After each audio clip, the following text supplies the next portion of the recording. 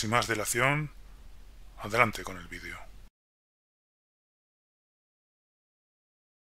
No ver cómo pueden saltarse las leyes eh, que defienden nuestros derechos lingüísticos. Lo mismo respecto a los derechos lingüísticos le diría a la señora Jace, es que veo que ninguno de los dos está aquí como miembros del Gobierno eh, con las universidades.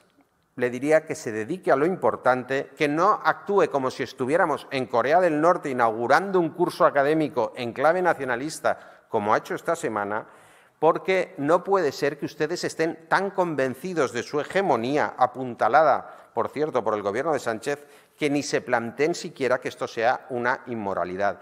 ¿En qué estado de emergencia democrática están las universidades catalanas cuando sus siete rectores hacen manifiestos a favor de Puigdemont? Es increíble lo que ocurre en este régimen nacionalista que ustedes han implantado. Deberían sonrojarse, la señora Jace debería sonrojarse de decir que tres países de la Unión Europea han dictaminado que Puigdemont no ha cometido ningún delito. Me recuerda a Torra aquí también cuando decía que Alemania le había exculpado. O sea, es, una, es un, un, desconocimiento tal de las leyes por parte de una señora que dice que es licenciada en Derecho y que es, eh, y que es profesora de universidad, que yo, eh, bueno, alucino. La verdad, ustedes mienten o es que vaya, o mienten o es que es una ignorancia absolutamente inexcusable.